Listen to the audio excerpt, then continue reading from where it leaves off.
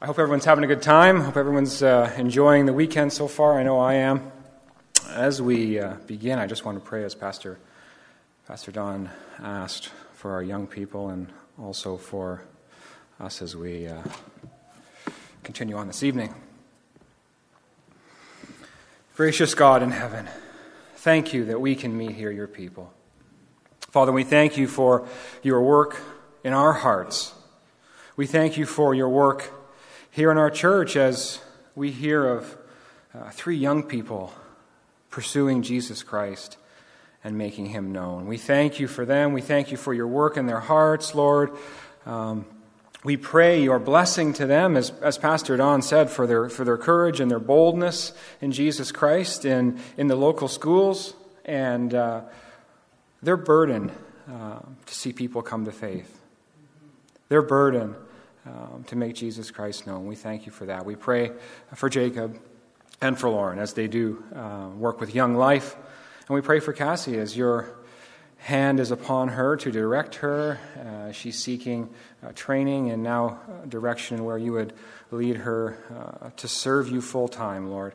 Uh, thank you for them. We do pray now, God, that as we continue on, as we think about the great mission that you've given to us, your people, as we meet now and consider that, God, we earnestly desire that you would make us a church hungry for you and hungry for the mission of God.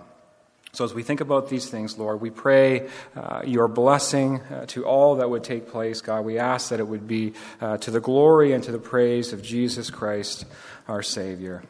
Amen. So, I don't know, a picture says a thousand words.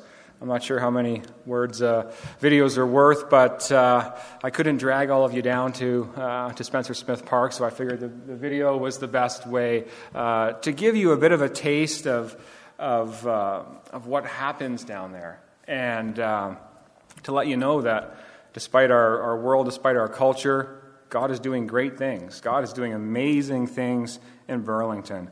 Um, that group that you saw singing um, is not the Go team, it's a different group. Uh, we're together in Christ. Uh, their particular gifting is to sing, that's not mine. Um, but there's 40, 50, 20 somethings on a Friday night giving their time to worship and to praise Jesus Christ. It's absolutely amazing. So that's going on just down the road here in Burlington. So I wanted to encourage you uh, with that. Um, so that's what a typical night looks like uh, on the GO team. GO stands for, for gospel outreach, and that's what we do. We go, we pray, uh, we hand out gospel tracts, we give out Bibles, we give out biblical literature, um, and we preach. And the hymn sing group sings, and it's, uh, it's an incredible atmosphere uh, down there in the park. It's, it's like the church has left the building and, and gone outside, and, um, and that's the reason we go. Uh, we go because, uh, honestly, we're in a post Christian culture, and people, people don't come. Uh, very rarely now will someone come into a church uh, and hear a gospel message. Uh, so we go to them uh, because they're not coming to us. Um, so I'm, I'm glad for the opportunity to share here. Uh, Global Missions has asked me to share a little bit about uh, how I got involved in this type of ministry, how God called me, uh, gifted me, equipped me, sort of brought me uh, to the Go team, and um, just uh, what that's all about. So, um, along with every session that we've had, um, I mean, it's great to hear about uh, what's going on in, in different ministries, and you might think, what does what does the Go team really really have to do with me? But um, as was mentioned downstairs earlier. Uh, my hope is that as you think about these things, it'll just be more, more than information about, about what someone else is doing, but uh, you'll keep in the back of your mind how does this apply to me? Um, what is God teaching me uh, through this time? Uh, what's God calling me to do? What's God calling me to change in, in the way that I'm living, or uh, what have you? So I'd like to uh, just read from Matthew uh, chapter 4. If you have your Bibles, Matthew 4 in verse 19. Um, if you're here with us in Pineland and not visiting, last week uh, we had a guest preacher who, who preached on uh, Acts chapter 1, verse 8, uh, where the Lord Jesus Christ is ascending into heaven and, and his sort of last uh, repetition of, of the Great Commission, and he, and he says that, um, that uh, the disciples will be his witnesses uh, in the power of the Holy Spirit. So that was the end of Christ's ministry. And I want to just go back to the beginning of, of Christ's ministry, um, where he says essentially the same thing. It's interesting to see uh, the bookends. Matthew 4 and verse 19. And Jesus said to them, Follow me, and I will make you fishers of men. So we see unmistakably that the call to uh, Christ, the call to follow Christ, is a, is a call to missions. There's really no escaping that. Jesus says, Follow me, and I will, I will make you fishers of men. The call to come to Christ is a call to fish for souls. So, right off the hop, I'm not saying that uh, everyone's going to be involved in street ministry. Most definitely not. More than likely, probably not. Um, but there is a specific call to every believer in Jesus Christ uh, to be on mission for Him. You see, the how and the where is unique, um, but the call is universal. So, by a show of hands, some involvement here. Who, who's following Jesus Christ? I hope everyone's going to have their hand up. Anyone who's not going to zone in on you. Just kidding. um, so, everyone's following Jesus Christ. So, we have a room full of missionaries, right? Amen. We have a room full of missionaries. You might not have thought of it that way, but that is the reality for those who follow Jesus Christ, that we are on mission for Him. So, the, the heart searching question I want to ask you now is where are you fishing? Where are you fishing? So, just for a little bit of background about myself, um, I didn't get saved until uh, later in life. I grew up attending a Catholic church and um, we certainly didn't observe the teaching of the Catholic Church. We didn't even really know what it was, uh, but we attended. And uh, I certainly didn't have a relationship with Jesus Christ as my Savior. Um, I do have some fond memories, though. Um, after the brief 30 minute or so Mass, we'd head downstairs, and every week there'd be a big buffet breakfast. Uh, so I enjoyed that. I enjoyed the all you could eat breakfast. But, but after that, it was just uh, continue on your way, live your life. Um, there was no prayer, there was no Bible reading, there was no uh, talking about God, there was no relationship with God whatsoever. And as I got older, I drifted away from, from even attending church. And as uh, lost people do, I lived my life dead in sin for many years. So, fast forward a few years, my wife and I, Christina, are married, and uh, we moved next door to this Christian family. And, um, you know, things were great. We thought life was grand. Uh, we were healthy, young, married. We had good jobs. But little did we know that God was about to uh, turn our world upside down. You see, over the next five years, God would crush me and crush Christina and convict us of our sin. First, God did that by allowing us to have a miscarriage, and then a second, and then a third, and then a fourth. And God used that physical suffering to get our attention in the spiritual. See, through that time, I could not escape the thought of God. I could not escape the weight of my own sin. I felt so low. I felt as if I couldn't even approach God. I couldn't even pray and ask God for anything. I could only say thank you for that particular day. I could hear, as it were, the voice of the enemy what a hypocrite. All your life, you wanted nothing to do with God. And now, now you want to come to Him? This is only because you have your own selfish desires in it. This is because you want children, you see? But God continued to draw me to Himself, and He humbled me to the point where that I knew that God owed me nothing. And I was okay with that. The only thing God owed me was wrath he certainly didn't owe me any children. And after he broke me, I began to understand his grace. And the Christian family who lived next door were now our best friends. And they had been patiently ministering to us. They'd been praying for us for probably seven years, sharing the gospel with us repeatedly. We were stubborn. there was much more going on than just fertility issues. There was a great spiritual work being done in our lives, and uh, there was physical healing as we eventually went on to have three children. But the greatest miracle was the spiritual healing that God did in our hearts. When Jesus healed the blind man in John chapter 9, he says, It was not that this man sinned or his parents sinned, but that the works of God might be displayed in his life. So, as painful as those five years were, and they were terrible, I am so thankful for them because God used it to display his glorious work in our lives. We were blind, and now we see. I was born again on May, in May in 2012. So now, Christina knows this, and maybe a few other people that know me a little well. Uh, I have a, just a tad bit of OCD. Now, if uh, translates into if I'm going to be doing something, I, I'm all in. It doesn't really matter what it is, I kind of go right at it. Uh, years ago, I, I, I, took up hunting, and it wasn't enough to just go hunting uh, and be into archery. I had to, you know, know all the ins and outs of, of archery and, and bow hunting, and began to make my own arrows, fletch my own arrows, make my own broadheads, and then before you know it, uh, we're in the woods and we're cutting down the tree and we're splitting the tree. We're making our own bow and arrow out of the tree. You see? That's, that's what happens with me. Uh, it doesn't matter, you know, gardening take up a little bit of vegetable gardening. Before you know it, there's 250 plants under lights in my living room. That's just, that's how it goes. So, as a brand new baby in Christ, I jumped right in. I was so hungry to learn about God. I had so many questions. I had so many misconceptions uh, from a loose Catholic upbringing. Um, and Dan, my neighbor, who was the one who shared Christ with me, my best friend, he, he bought me a Bible, took me down to the Christian bookstore, bought me an NIV Life Application Study Bible.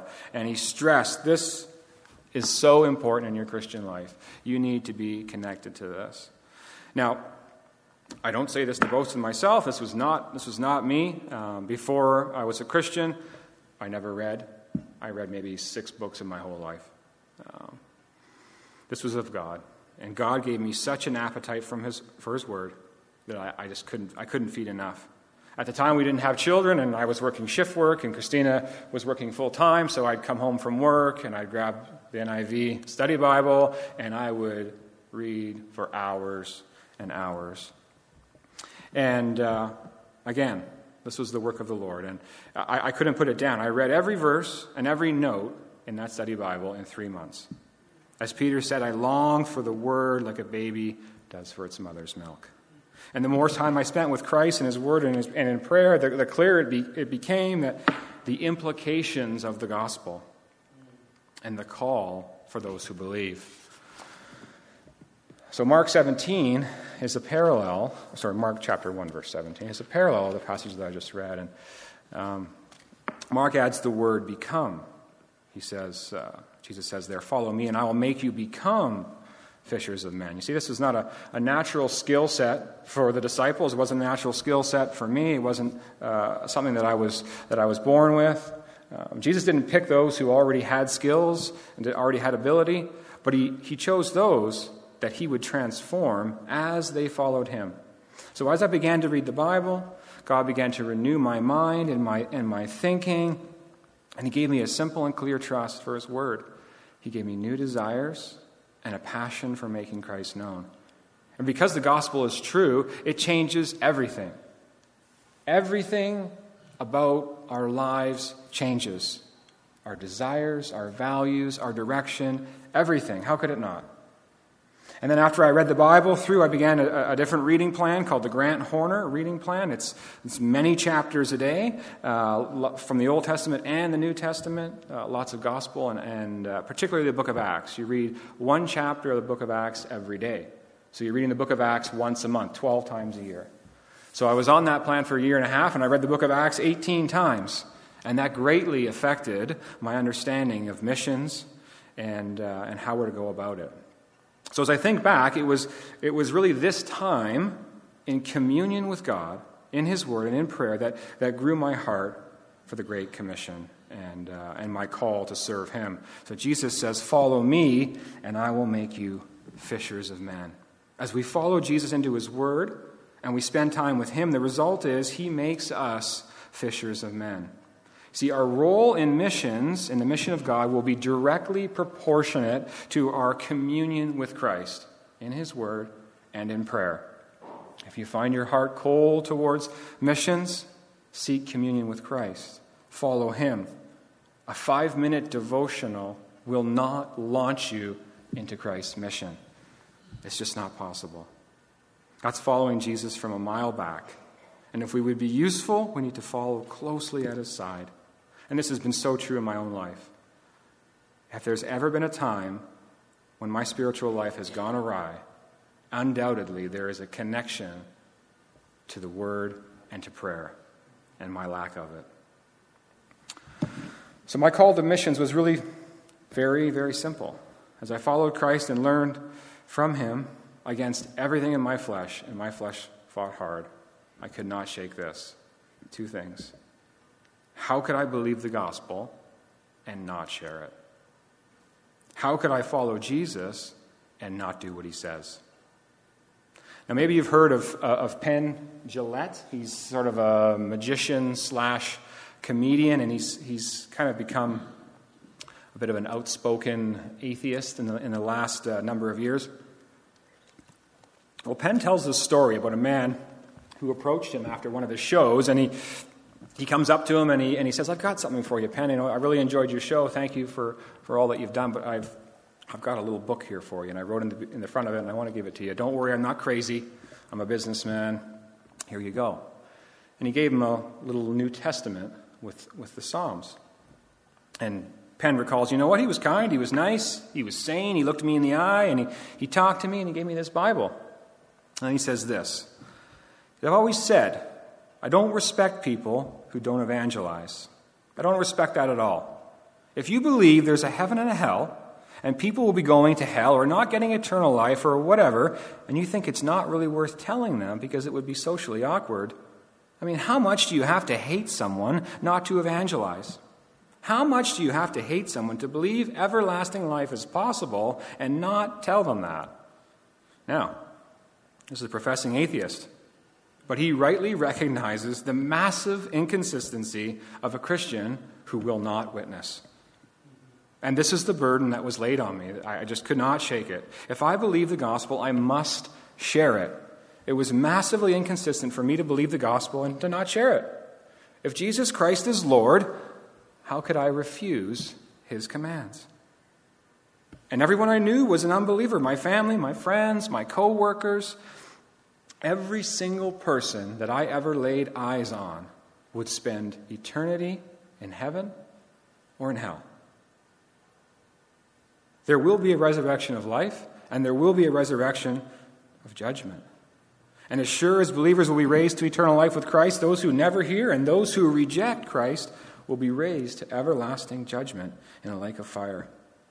How in the world could I be worried about what people think of me in light of eternity? Every excuse I had, I had lots of excuses to not speak up. They were all self centered and self serving. I had to die to self. For Jesus said, If anyone would come after me, let him deny himself, take up his cross, and follow me. So initially, God gave me a great burden for people that not one would go to hell. Charles Spurgeon says, If sinners be damned, at least let them leap to hell over our dead bodies. And if they will perish, let them perish with our arms wrapped around their knees, imploring them to stay.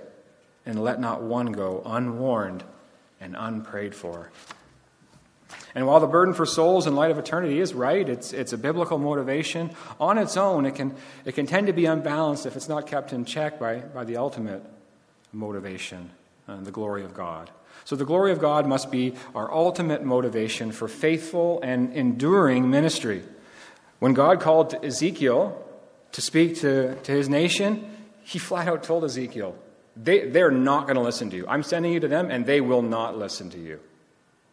But he still went. He still went. See, if, if it was solely uh, that people would turn to the Lord, Ezekiel wouldn't have prevailed. He would have, he would have burnt out. So the glory of God and the purposes of God must be above our, our, our right motives and desires that, that people would be saved. So, in regards to gifting, Jesus says, I will make you fishers of men. He will do it. And those that God calls, He gifts. So, this is a work of God. And to prove it, God uses the most unlikely people right? He does that to show that the surpassing power belongs to God and, and not to us. So Moses didn't want to speak, he didn't want to lead the people. Jeremiah was the same. He said, I can't speak. He said, I'm too young, right? The disciples, uneducated, unqualified men.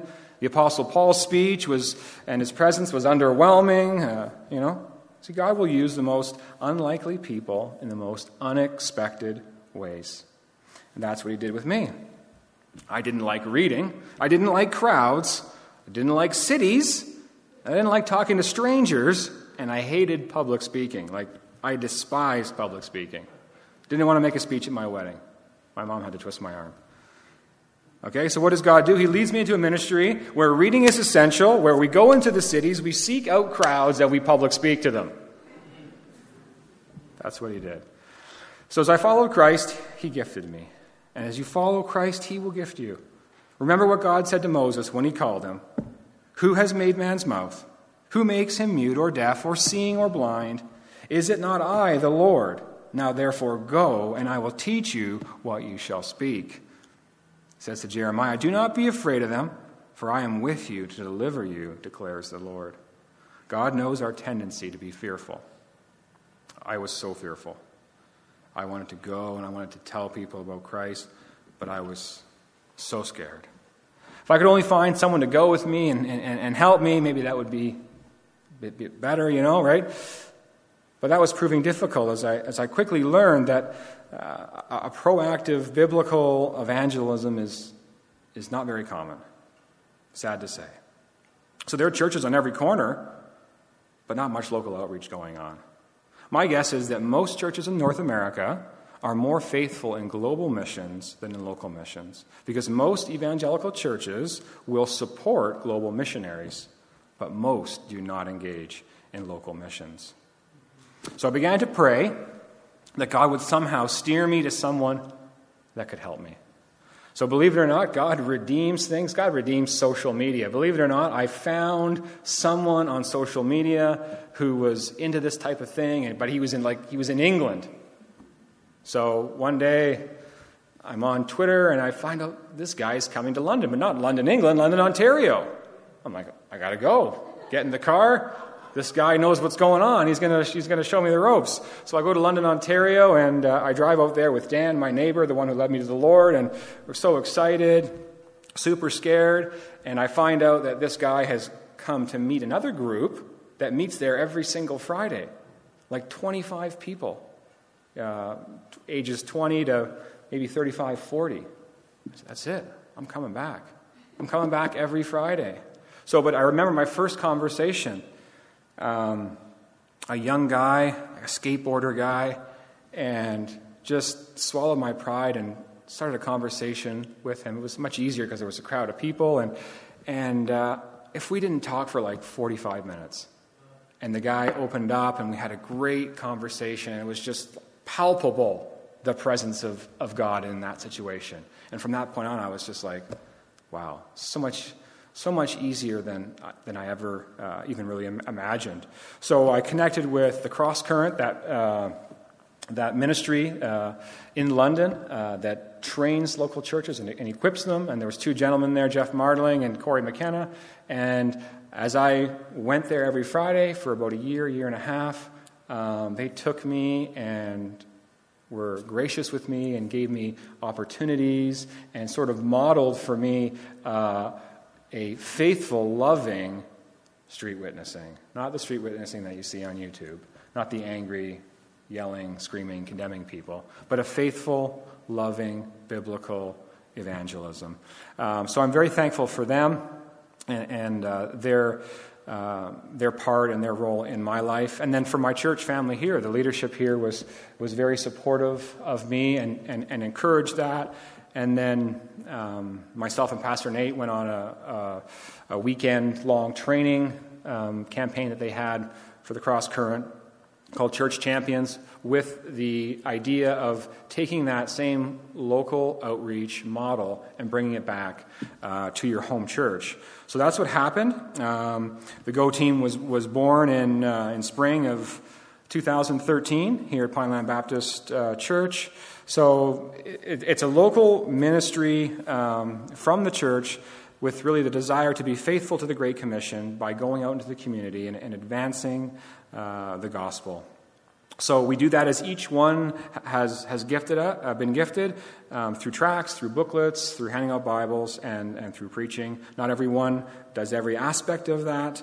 Um, so as it, as it began, it was just myself, and then within a few months, providentially, there was a young man, a tall man who's sitting right there, Matt, and he connected with the same gentleman, Cory McKenna, and says, I have the same desire uh, to witness to people in my community. Um, he had heard Cory talking to conference, and he says, I live in Burlington. Is there anyone around that can, can uh, join with me in that? And he says, Well, I just so happened to, to know Kevin, who just started a, a local outreach out of Pineland. And so the Lord graciously uh, brought Matt Templeman into the group early on uh, because I was still very nervous and fearful to go on my own. And um, so the, since then, the group has, has grown. Uh, we've had many people come through, but we've got a core group of about uh, six to eight people, and then a more semi regular um, laborers, another maybe eight or ten or so. Um, but again, like I said, there's been many people that have served uh, throughout, the, throughout the years.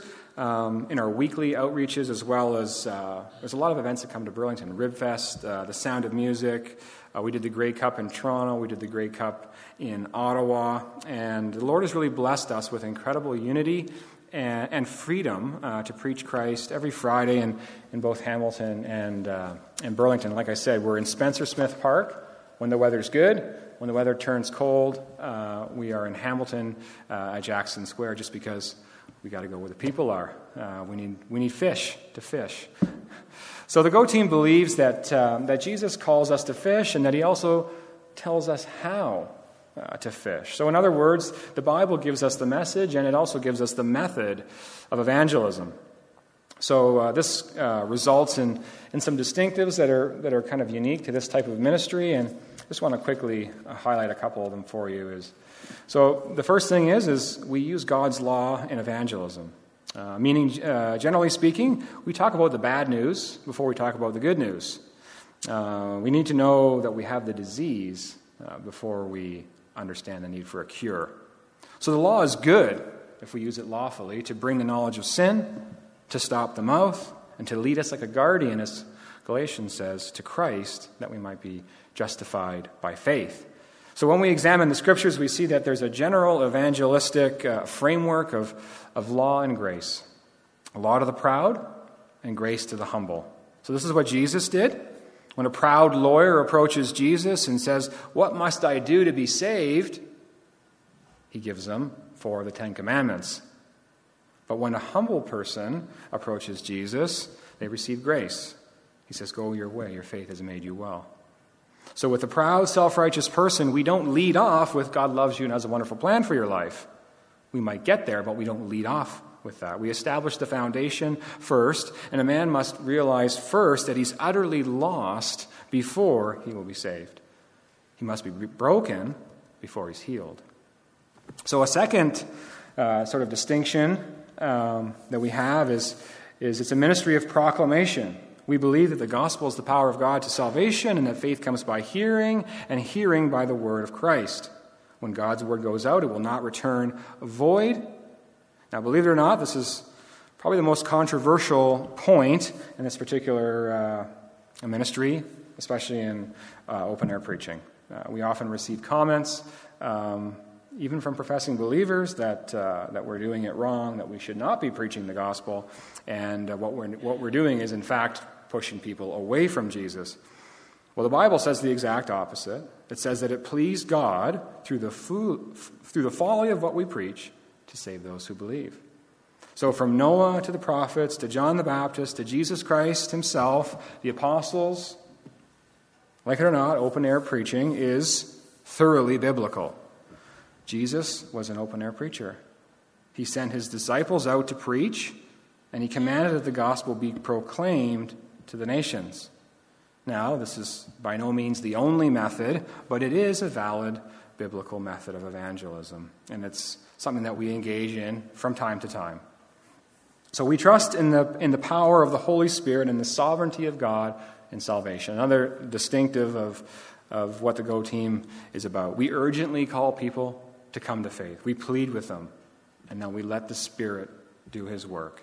Because salvation is of the Lord, we don't manipulate people, we don't pressure people into decisions, and we don't lead them in a repeat after me type of a sinner's prayer. There's no bait and switch, there's no frills. We simply want to get the Word of God into their hands and into their ears.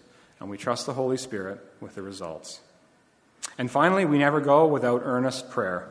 We pray before we outreach, we pray during an outreach, and we pray after an outreach. We have about 40 people on an email prayer list that goes out um, usually weekly. And then, of course, all of the churches uh, that are involved, Pineland included, um, is faithfully praying uh, for us, and we're very thankful for that.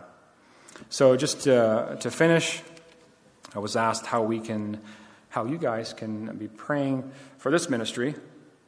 Um, well, ultimately, I would say uh, pray for uh, a great work of the Spirit of God in our communities, uh, because that is ultimately what we need. We need God to pour out His Spirit uh, on the people uh, that we're living around. Um, so I'll say pray for continued freedom. Um, like I said, we've had amazing favor in the community with, uh, with police, with security. Never, never an issue. Uh, so God has allowed uh, His word to go forth, and, and we're so thankful for that. Uh, how long that'll last, we're not sure. Um, so continue to pray for freedom. Uh, pray for protection, um, particularly in Hamilton. people do threaten us. We have been threatened physically. Um, there's just a lot that goes on in that, so we'd ask for your uh, continued uh, prayers for protection. Uh, to pray for the continued unity of the team. Uh, we have enjoyed um, great favor in that regard, and, and many of the people that have come uh, to join us um, have just, I feel like I didn't even uh, really play much of a role in it. They came and they were so. Um, they were so hungry for God and so on fire, and, and they were people that had vibrant spiritual lives, and they knew it was just like a duck in the water. Just let's join together and, and go. So um, I'm very, very thankful for that and, and, the people that God has brought. And uh, I, I ask for your prayers, uh, as God calls us to, to, to pray for more laborers. Um, to pray for not only for our church, for laborers, for fellow churches, but for all uh, like-minded Bible believing, gospel preaching churches in the community. Uh, there are many, but uh, we are in need of, of revival and zeal uh, for missions locally.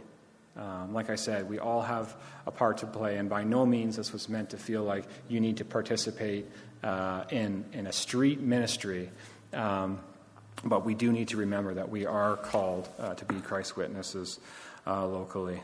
So that's uh, my prayer requests, and um, I thank you for your time and, and uh, do pray that, uh, that you were blessed.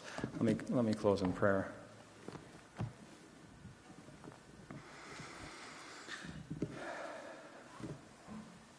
Heavenly Father, we thank you for who you are and for what you've done. We thank you, O God, that you have rescued us from darkness. We thank you uh, that you have blessed us with all the riches that are in Christ Jesus. God, we desire um, that you would be as gracious to those outside these walls as you, as you have been uh, to us inside these walls.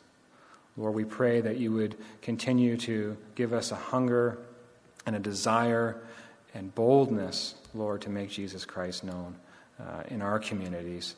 We pray as well uh, for all we have learned and heard about global missions. And God, we do pray your blessing upon our missionaries um, that are involved in that, God, and we pray that uh, you would be near to them as they are uh, far from us. Uh, may they know of our love and our care of them. So as we continue before you, O Lord, we pray that you would be glorified and that we would be sanctified. In your name we pray, amen.